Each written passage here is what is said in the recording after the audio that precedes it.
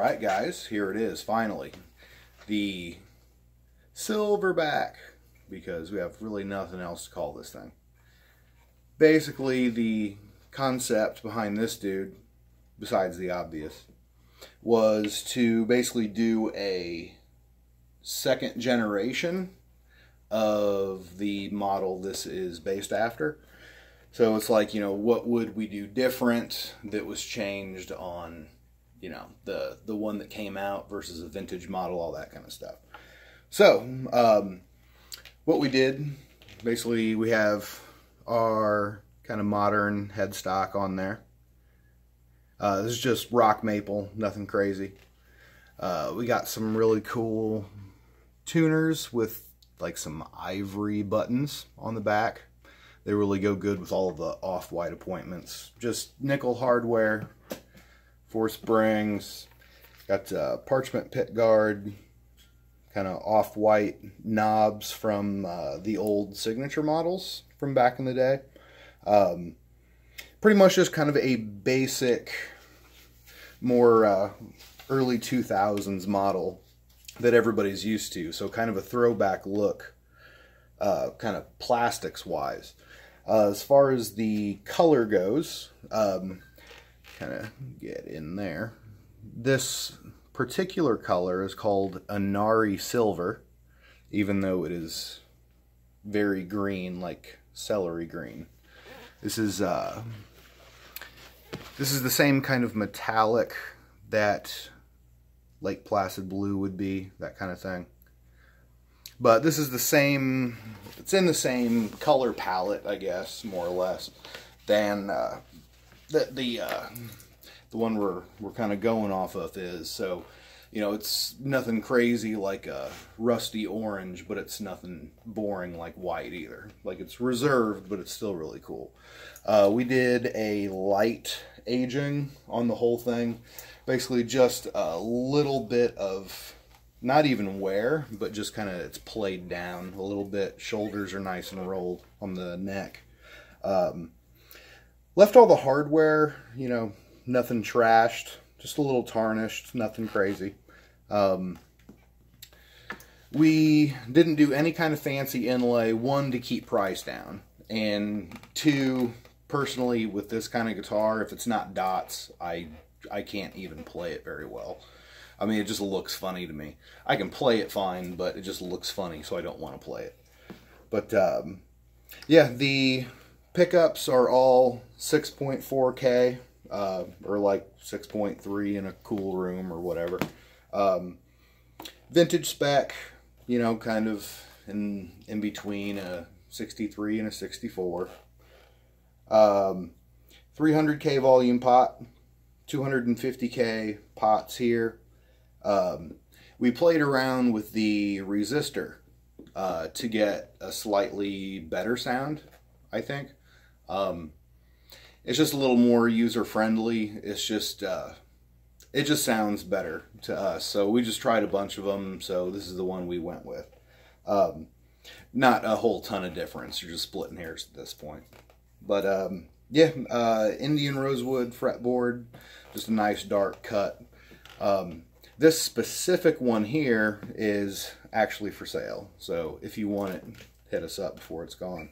Um, as far as this changed part here, normally the one that we were kind of modeling this after has this great big scoop right here. Um, one that's trademarked, so we're not going to do it that way. Uh, second, we basically took the the lower horn shape of that um, the vintage ultra modern that we did a couple months ago, that purple one, and uh, took that same kind of modern cut here. And what we did is instead of leaving the back normal and carving out a crazy looking cut in the front, what we did is we kind of split the difference. We did still a deep-ish cut. It's not shallow by any means. You can, I mean, I, my hands are gigantic. I mean, they're bigger than a pick guard. And I can still get up here, access the 22nd fret, and still have, like, pinky wiggle room. So you have tons of room up here. Um, another reason this smaller cut works and looks better in my opinion is if we go to the back we contoured the heel uh, right here in this area kind of yeah you can kind of see it so basically focus focus so basically this area here has been kind of shaved down a little bit. Sorry guys, I don't know why this is not focusing. There we go, sorry. Um, yeah, so basically you can see it here. It almost looks kind of crooked when you look at it dead on like this, but it basically takes from here out. It takes all of this wood away. So when you're playing up here, the back of your hand isn't stopping here and you're forced to kind of just use the tips of your fingers. There's not the amount of wood right here. So it's going to be way easier to get the meat of your hand back in here to allow greater reach up at the front. It all starts in the back. So that's something the the other one did not do at all is uh, they left the back just the same, which is cool. I mean, the front one still works, but this is just the way we did it. Um, trying to think there's anything else crazy. Not really. Um, yeah, uh, Mallory 1MF, I'm pretty sure. I probably got that wrong. Um, cap in here, it's a big fat cap, so it's going to eliminate uh, a lot of high end that you don't want right off the bat, and that transistor helps too. Yeah, forgive my blue and white fingers. I painted a Monterey earlier today. But uh, just going through a clean Dumble signal amp. Uh, start at the neck pickup.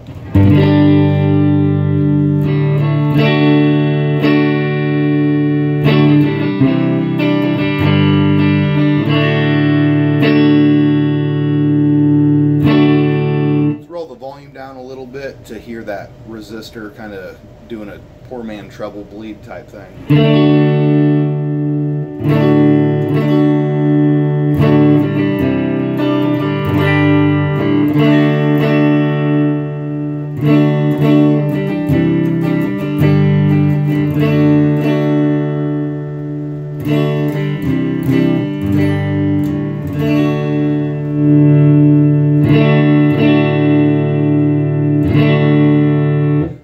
Mess with that uh, that cap real quick.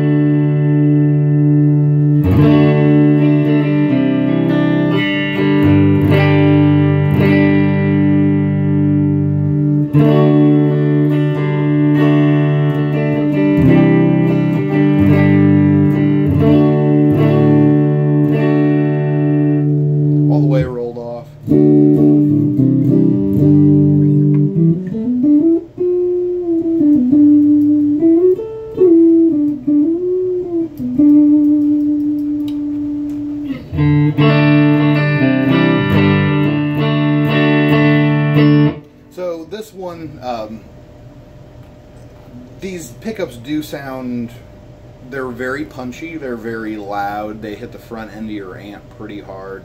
Um, they're, and it's weird because they're not, they're about the same resistance as like a Texas Special or whatever, but it's a totally different wire, so it reacts kind of totally different as far as the volume and all that goes. They're a very loud, loud, punchy, spanky pickup, which is which is pretty cool, especially if you're running through a lot of uh, kind of darker pedals. Uh, it'll still make you cut through, and since it has that that uh, resistor treble bleed thing on there, plus that big cap, if you want a lot of that treble dialed out, you really don't have to alter anything crazy tonally. You can just rolling the volume back a little bit takes that that real high frequency out, and the tone's about the same.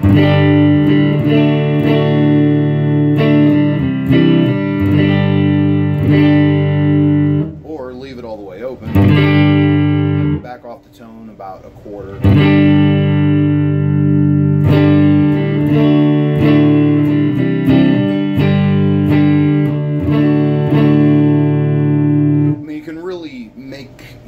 Sit in the mix however you want to, which is kind of cool with this guy. So uh, yeah, I'll do like a, I'll do a, a more in-depth kind of sound demo uh, later, but I'll just kind of mess around for like a minute or whatever just to just to have you hear guys something.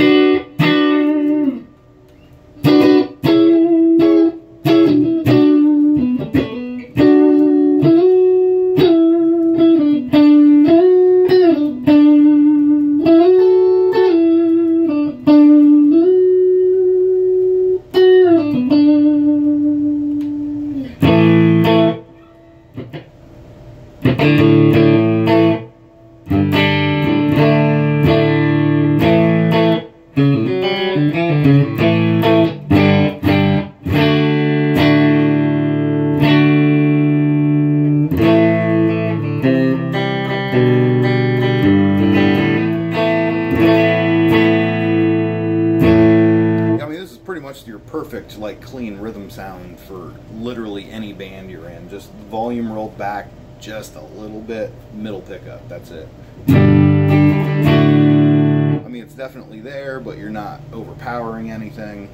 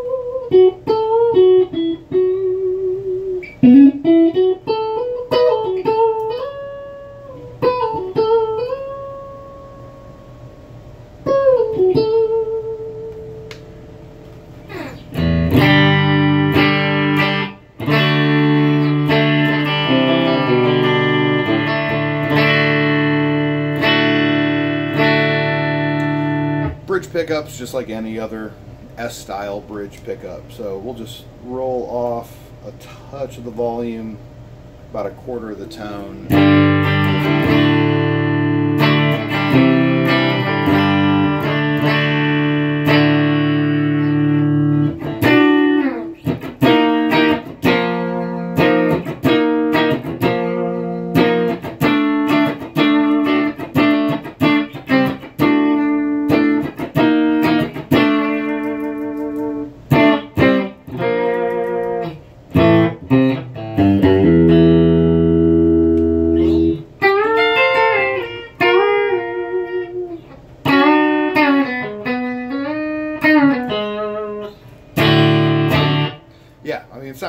Pretty good. I'll actually come